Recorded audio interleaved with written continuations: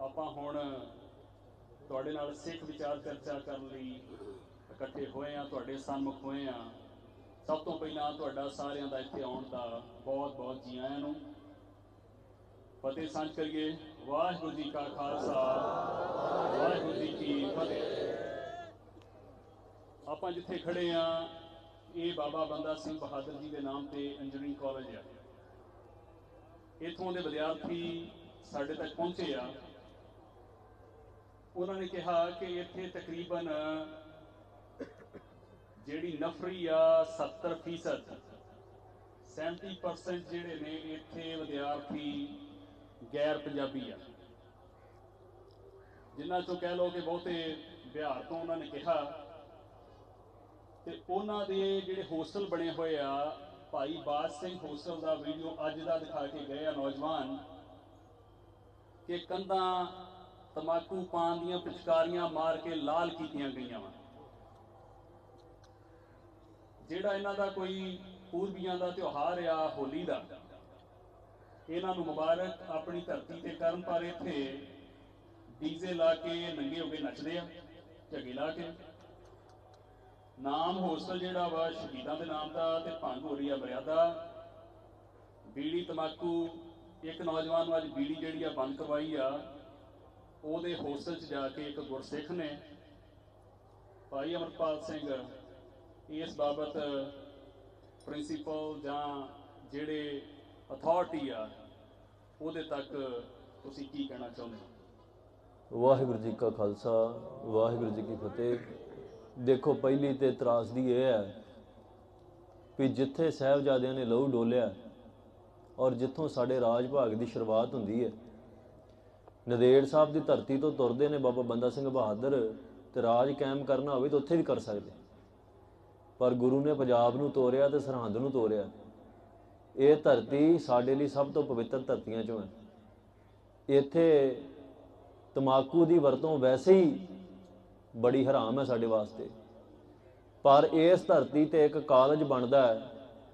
ਉਸ ਦੇ ਨਾਂ ਤੇ ਕਾਲਜ ਬਣਦਾ ਹੈ ਜਿਹੜਾ ਉੱਥੋਂ ਤੁਰਿਆ ਸਤਿਗੁਰ ਦਾ ਥਾਪੜਾ ਲੈ ਕੇ ਜਿਨੇ ਪੰਜਾਬ ਵਿੱਚ ਆ ਕੇ, ਜਿਨੇ ਪੰਜਾਬ ਦੇ ਵਿੱਚ ਆਣ ਕੇ ਆਪਣਾ ਵੀ ਲਹੂ ਡੋਲਿਆ, ਆਪਣੇ ਪੁੱਤਰ ਦੀ ਸ਼ਹੀਦੀ ਕਰਵਾਈ, ਕਲੇਜਾ ਮੂੰਹ 'ਚ ਪਵਾਇਆ, ਤੇ ਪੰਜਾਬ 'ਚ ਖਾਲਸੇ ਦਾ ਰਾਜ ਕਾਇਮ ਕੀਤਾ ਹੈ ਤਮਾਕੂ ਬੰਦ ਕਰਾਇਆ, ਗਾਂ ਦੀ ਹੱਤਿਆ ਜਿਹੜੀ ਇੱਥੇ ਹੁੰਦੀ ਸੀ, ਬੁੱਚੜਖਾਨੇ ਮਸੀ- ਮੰਦਰਾਂ ਦੇ ਬਾਹਰ ਲੱਗੇ ਸੀ, ਉਹ ਬੰਦ ਕਰਵਾਏ ਹੈ ਔਰ ਉਹਨੇ ਖਾਲਸੇ ਦਾ ਰਾਜ ਕਾਇਮ ਕਰਕੇ ਦੱਸਿਆ। ਉਹਦੇ ਨਾਂ ਤੇ ਬਾਬਾ ਬੰਦਾ ਸਿੰਘ ਬਹਾਦਰ ਨਾਂ ਤੇ ਕਾਲਜ ਖੁੱਲਦਾ ਹੈ, ਜਿੰਨੀ ਕੁ ਮੇਰੀ ਜਾਣਕਾਰੀ ਵੀ ਐਸਜੀਪੀਸੀ ਦੇ ਪ੍ਰਬੰਧਾ ਹੇਠ ਕਾਲਜ ਚੱਲਦਾ ਹੈ। ਇਦਾਂ ਹੀ ਹੈ ਜੀ। ਐਸਜੀਪੀਸੀ ਸਿੱਖਾਂ ਦੀ ਸੰਸਥਾ ਹੈ। ਸਿੱਖਾਂ ਦਾ ਪੈਸਾ ਐਸਜੀਪੀਸੀ ਕੋਲ ਜਾਂਦਾ ਹੈ। ਉਹ ਪੈਸੇ ਦੀ ਅੱਗੇ ਵਰਤੋਂ ਕੀਤੀ ਜਾਂਦੀ ਹੈ। ਇਦਾਂ ਦੇ ਕਾਰਜਾਂ ਵਾਸਤੇ ਕੋਈ ਸਕੂਲ, ਕੋਈ ਕਾਲਜ, ਕੋਈ ਸਾਡੇ ਲੰਗਰ ਲੋ ਲੰਗਰ ਚੱਲਦੇ ਨੇ। ਸਾਰਾ ਕੁਝ ਜ਼ਰੂਰੀ ਹੈ। ਪਰ ਸਿੱਖਾਂ ਦੇ ਪੈਸੇ ਤੋਂ ਚੱਲ ਰਿਹਾ ਕਾਲਜ। ਉਹਨਾਂ ਵਿੱਚ ਪੜ ਕੌਣ ਰਿਹਾ ਜੀ? ਇੱਕ ਤਰਾਸਦੀ ਤੇ ਇਹ ਹੈ ਵੀ ਸਾਡੇ ਬੱਚਿਆਂ ਦਾ ਰੁਝਾਨ ਇਹ ਹੋ ਗਿਆ ਵੀ 12ਵੀਂ ਬਾਅਦ ਚ ਕਰਨੀ ਆਈਲੈਟਸ ਪਹਿਲਾਂ ਸ਼ੁਰੂ ਕਰ ਦੇਣੀ ਹੈ ਤੇ ਇੱਥੋਂ ਨਿਕਲ ਜਾਣਾ ਹੈ। ਵਿਦੇਸ਼ਾਂ ਦੀਆਂ ਧਰਤੀਆਂ ਤੇ ਚੱਲ ਜਾਣਾ ਹੈ। ਔਰ ਦੂਜਾ ਰੁਝਾਨ ਸਾਡੇ 'ਚ ਇਹ ਹੋ ਗਿਆ ਵੀ ਅਸੀਂ ਉਚੇਰੀ ਪੜ੍ਹਾਈ ਕਰਨੀ ਨਹੀਂ। ਸੋ ਸਾਨੂੰ ਇਹ ਗੱਲ ਸਮਝਣੀ ਚਾਹੀਦੀ ਹੈ ਵੀ ਅੱਜ ਐਸਜੀਪੀਸੀ ਨੂੰ ਵੀ ਮੈਂ ਤਾੜਨਾ ਕਰਦਾ ਇਸ ਗੱਲ ਦੇ ਉੱਤੇ। ਕਾਲਜ ਦਾ ਜਿਹੜਾ ਵੀ ਪ੍ਰਿੰਸੀਪਲ ਹੈ ਉਹਨੂੰ ਵੀ ਤੇ ਇਥੋਂ ਦੇ ਪ੍ਰਸ਼ਾਸਨ ਨੂੰ ਵੀ ਤਾੜਨਾ ਕਰਦਾ ਇਹ ਕੋ ਬਾਰ ਖੋਲਿਆ ਜਾਂ ਕੋ ਠੇਕਾ ਖੋਲਿਆ ਜਾਂ ਕੋ ਹਾਤਾ ਹੈ? ਵੀ ਜਿੱਥੇ ਬੀੜੀ ਤਮਾਕੂ ਪੀਤੀ ਜਾਣੀ ਹੈ, ਇਥੋਂ ਕਿੰਨੀ ਕੁ ਦੂਰ ਹੈ ਜਿੱਥੇ ਸਾਹਿਬਜ਼ਾਦੇ ਨੂੰ ਸ਼ਹੀਦ ਕੀਤਾ ਗਿਆ? ਇਥੋਂ ਕਿੰਨੀ ਕੁ ਦੂਰ ਹੈ ਜਿੱਥੇ ਸਾਹਿਬਜ਼ਾਦੇ ਦੀਆਂ ਮ੍ਰਿਤਕ ਦੇਹਾਂ ਸੁੱਟੀਆਂ ਗਈਆਂ? ਇਥੋਂ ਕਿੰਨੀ ਕੁ ਦੂਰ ਹੈ ਜਿੱਥੇ ਬਾਬਾ ਬੰਦਾ ਸਿੰਘ ਬਹਾਦਰ ਨੇ ਆਣ ਕੇ ਜੰਗ ਲੜੀ ਹੈ? ਇੱਥੇ ਇਹ ਕੰਮ ਕਰਾਉਣੇ ਬੰਦ ਕਰ ਦਿਓ। ਅੱਜ ਤੋਂ ਬਾਅਦ ਚ ਇਸ ਕਾਲਜ ਦੇ ਅੰਦਰ ਤੰਬਾਕੂ, ਬੀੜੀ ਜਾਂ ਐਦਿਕ ਹੋਰ ਨਸ਼ਿਆਂ ਦੀ ਵਰਤੋਂ ਕੀਤੀ ਗਈ, ਤੇ ਅਸੀਂ ਆਪਣੇ ਤਰੀਕੇ ਨਾਲ ਖਾਲਸਾ ਜੀ ਹੱਲ ਕੱਢਾਂਗੇ ਤੇ ਇੱਥੋਂ ਪ੍ਰਵਾਸੀਆਂ ਦੀ ਗਿਣਤੀ ਘਟਾਉਣ ਲਈ ਸਾਨੂੰ ਕੀ ਕੁਝ ਕਰਨਾ ਚਾਹੀਦਾ ਤੇ ਬਾਰੇ ਵੀ ਅਸੀਂ ਸੋਚਣਾ ਬੈਠ ਕੇ।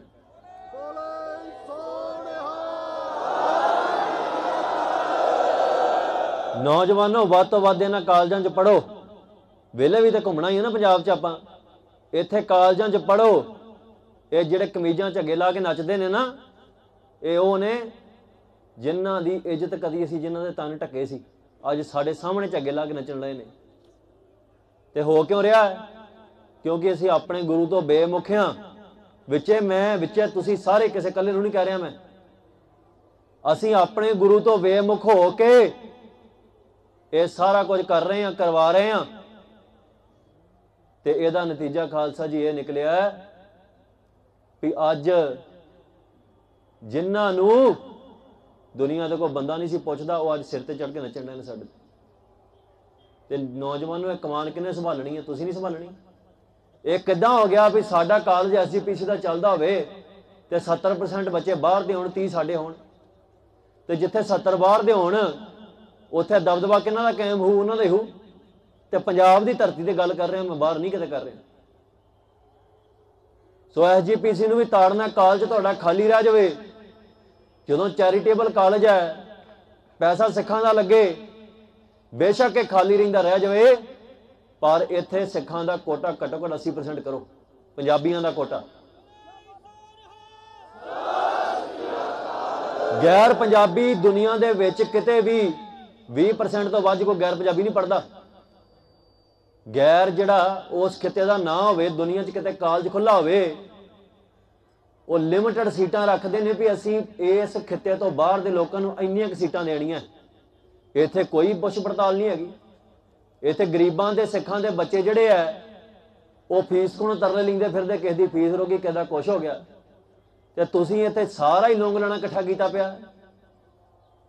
ਸੋ ਇਸ ਗੱਲ ਤੋਂ ਬਾਜ ਆ ਜਾਓ। ਨੌਜਵਾਨੋ ਜਿਹੜਾ ਤਮਾਕੂ ਦਾ ਸੇਵਨ ਕਰਦਾ ਉਹਦਾ ਨਾਂ ਪਤਾ ਸਾਨੂੰ ਲਿਖ ਕੇ ਦਿਆ ਕਰੋ, ਅਸੀਂ ਆਪ ਇਲਾਜ ਕਰ ਲਾਂਗੇ ਫਿਰ ਹੁਣ।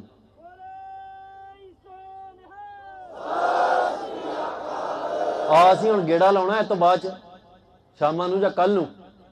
ਇਹ ਹੌਸਲਾ ਦੂਜੇ ਤੀਜੇ ਪਾਸਿਆਂ ਦਾ ਗੇੜਾ ਲਾਉਣਾ ਹੈ।